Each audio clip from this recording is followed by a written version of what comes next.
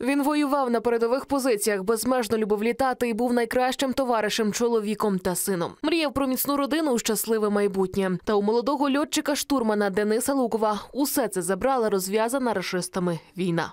Він боявся, але скільки я йому раз сказав, Денис, може якось щось десь трошки в сторону, десь чуть не напередок, десь там сховайся, десь.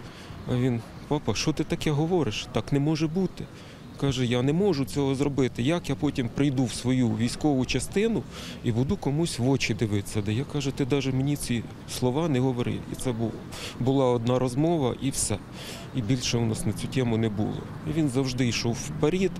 Денис Луков початок великої війни зустрів на аеродромі Мелітополя. О п'ятій ранку його почали гатити окупанти. Замість того, аби ховатися, Денис разом з екіпажем кинувся рятувати техніку. Тоді й почалася його бойова робота. Десятки подвигів, врятованих життів побратимів і знищених окупантів. Дитина війни так називали Дениса побратими. Хоч і молодий, проте цілеспрямований хлопець одразу серед них здобув авторитет.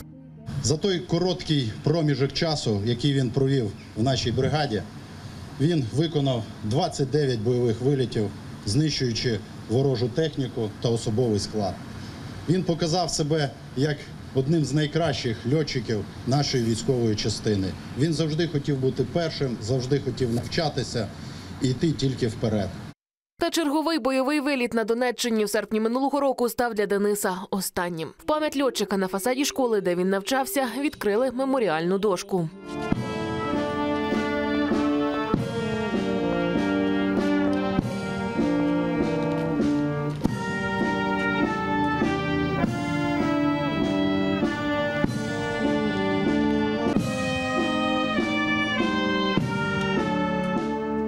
Тепер герою назавжди 22. У свої молоді роки він встиг побачити і відчути на собі всі жахи війни, і разом з тим пізнати справжнє кохання. Одружився Денис за два місяці до загибелі. Замість міцної родини і діточок, про яких мріяв, залишив лише спогади про себе у серцях рідних, друзів та усієї громади.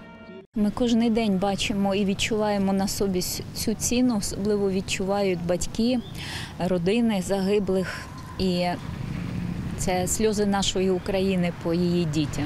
Це, на жаль, 26-та вже меморіальна дошка, яка встановлена з початку повномасштабного російського вторгнення на стінах закладів освіти. Щоб ця пам'ять залишилася довго, у генетично війшла в наше нове молоде покоління, щоб воно завжди пам'ятало, що Росія порушила кордони України, що Росія забрала мирне життя і тисячі е, життів і військових, і цивільних.